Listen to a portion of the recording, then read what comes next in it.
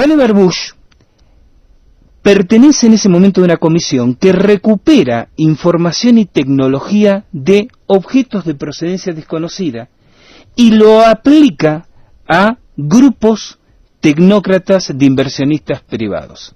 A ver, un poco más claro porque no... no, vamos, a, vamos, a, pasarlo en castellano más básico. Vannevar Bush es un miembro, un científico, miembro de un grupo con autísima autonomía en su desenvolvimiento durante el gobierno de Truman, que estaba presente en ocasión de producirse siniestros de objetos no identificados para recuperar tecnología que después él participaba a grupos inversionistas privados. Yo te mencioné en algún momento que la tecnología que aparece en estos objetos durante el atentado al World Trade Center la definimos como retroingeniería o ingeniería inversa, que es la forma como denominamos a objetos en los cuales se aplica tecnología recuperada de accidentes de ovnis. No interesa ahora cuál es el origen de esos ovnis, cuál es la procedencia de esos ovnis. Enfoquémonos en una tecnología que se recupera de estos objetos y se aplica en proyectos militares o en proyectos de índole privada militar. Son las 11.46, estamos platicando con Gustavo Fernández, autor de un libro que se llama OVNIS, sobre las Torres Gemelas, vigilancia extraterrestre, fenómenos paranormales o conspiración Illuminati. ¿Qué tendría, por qué estarían involucrados los Illuminati con los atentados contra las Torres Gemelas? ¿Cuál es el propósito final de los Illuminati? Con esto vamos a volver antes un corte.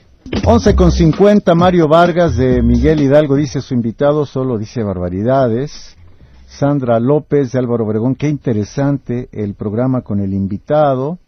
Rolando García, lo felicito por tocar estos temas. Verónica Flores del Estado de México, qué gran idea tuvo de darnos algo diferente en su noti, no todo es política y economía. Margarita Serna de Coyoacán, el ejército debe combatir a los narcos ya que la policía los defiende y soy partidaria de la pena de muerte a los narcos y a los secuestradores pues si me permite a título estrictamente personal, yo también les aplicaría la pena de muertos sujetos. Bueno, regresamos con Gustavo Fernández, investigador argentino del tema de los ovnis. Tenemos, Gustavo, siete minutos, más o menos, más o menos. Voy a tomar un minuto de esos siete. A ver. Me permite, porque me quedé muy enganchado con lo que estábamos charlando recién en el micrófono cerrado.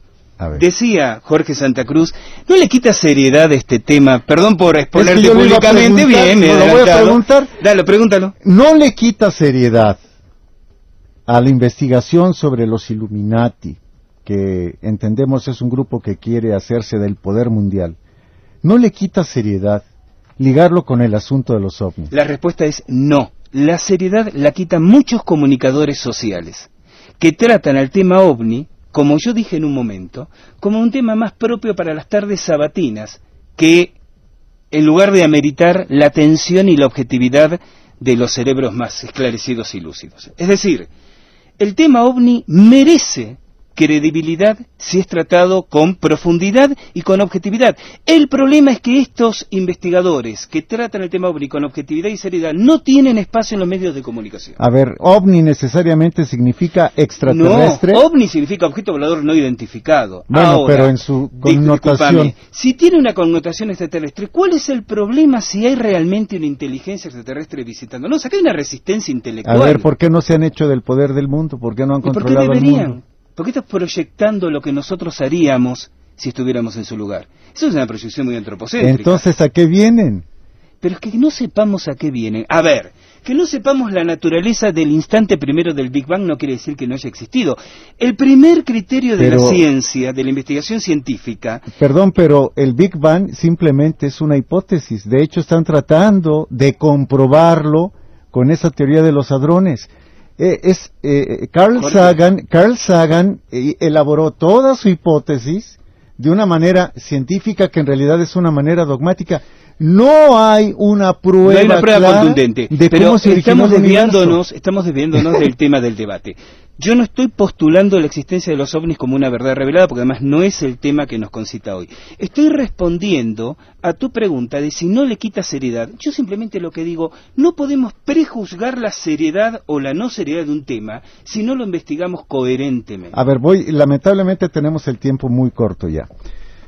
Pero te, estás entusiasmando con esta, con esta ala del debate. Eh, eh, a ver, decías que un Bush tuvo que ver con la recuperación de tecnología de objetos no identificados que habían siniestrado. Un Rockefeller tuvo que ver. Un Rockefeller. Lawrence Rockefeller, fallecido recientemente. Y seguramente los Rothschild están metidos en todo este asunto, etcétera. Bueno, ¿no será que los ovnis en realidad sean armas secretas? Los alemanes estaban desarrollando infinidad de armamento y de, aparatos que avanzados, dejaron a los norteamericanos y a los soviéticos, a los británicos, a los franceses con el ojo cuadrado. ¿No será que han desarrollado, que han seguido con el desarrollo de toda aquella tecnología alemana y que en realidad no sean objetos extraterrestres, sino Pero es superterrestres. lo cual vuelve a darme la razón. ¿es posible? Muy posible, lo cual vuelve a darme la razón en la importancia de investigar seriamente y tratarlo mediáticamente seriamente el tema ovni.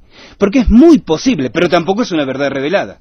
Digo, la idea del prototipo secreto, ¿verdad? Entonces, vuelvo, vuelvo a plantear la importancia de investigar el tema OVNI, si aparece con connotaciones vinculantes al tema Illuminati, no hacer, eh, nosotros tenemos un pájaro gigantesco en Argentina que es el avestruz, que cuando se asusta esconde la cabeza en un hueco en la tierra, no hacerlo del avestruz, sino enfrentarlo y decirnos, como me digo en mi libro, si están ahí, investiguémoslo. A ver, dos minutos es lo que tenemos para la conclusión.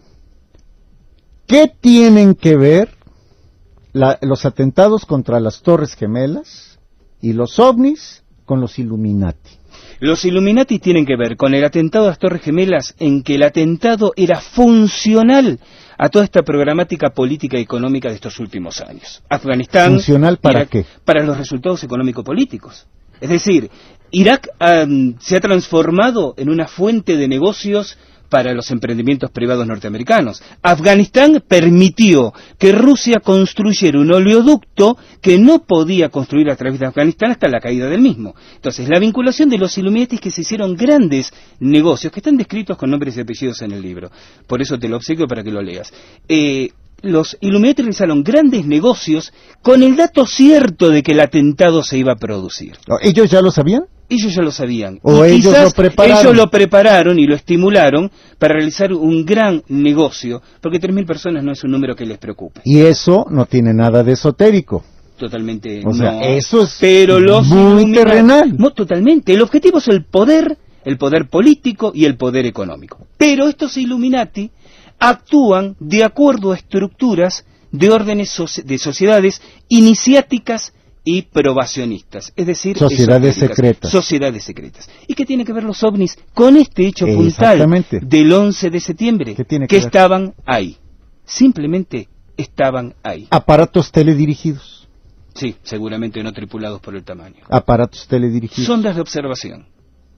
Ahora, ya, por último, ¿qué significa la pirámide con el ojo que todo lo ve eh, la fecha de 1776 y la, la, leyenda del nuevo orden de los siglos. Sí, el nuevo orden mundial, como se dice habitualmente, es la consigna para el futuro.